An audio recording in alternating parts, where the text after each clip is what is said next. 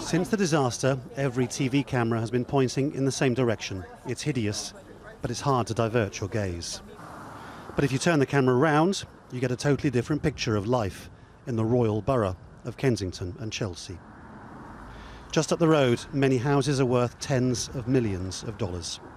Hundreds are empty, bought as a tax dodge by rich foreigners. The opposition Labour leader, Jeremy Corbyn, suggested these empty homes could be used to house those made homeless by the fire. But ask people here about that, and answers are less than enthusiastic.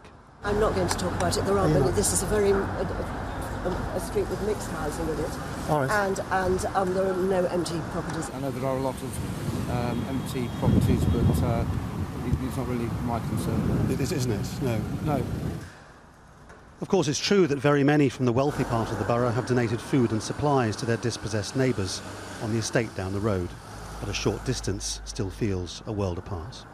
This is the London of jolly old England, of films like Mary Poppins, bound up in concepts like the class system, and of course, one of the central complaints from the people who live in the estate down there is that the people up here didn't like looking at them and so the council put the cladding on the side of Grenfell Tower to make it look less ugly.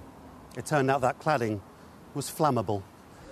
The anger, the sheer rage of many around the estate is better understood when you see life here compared to life nearby.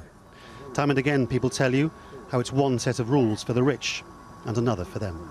different world up the road, completely different, and they don't care about us. They don't care about us. Do you think And that's the that reason for some of the anger? That, And that shows. Look at it. If Buckingham Palace went up, that's in this borough. Military would have been out with helicopters putting that out. Look at that building. Look at it. It's gutted. It's gone. That would never happen in that side of the borough. Never. the ex-prime minister of England is two, ro- two roads away from Cameron, Cameron, David yes, Cameron down yes. there, yeah, does. Uh, Mr. Michael Gove, education minister, three roads away on Barbie Road. Uh, Osborne, up here, 10 minutes away. This to happen in England, in London, in London, in this 21st century day and age, is an embarrassment for all of them. Those people, I don't even know how they're sleeping right now. People are even suspicious of the announcement of the government's inquiry into the fire. They suspect it's a delaying tactic. Trust in authority has gone up in smoke. Laurence Lee, Al Jazeera, Kensington.